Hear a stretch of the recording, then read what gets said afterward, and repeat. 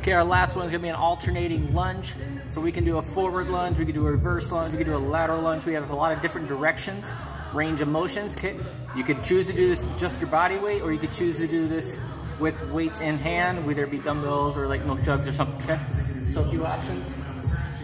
So if I'm facing out, I can go forward lunge, step out, try to step where when I sink down, both knees at 90 degrees, keeping that back posture straight up.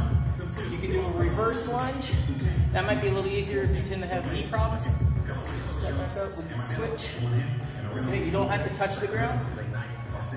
Add weights to this, okay, either up or down.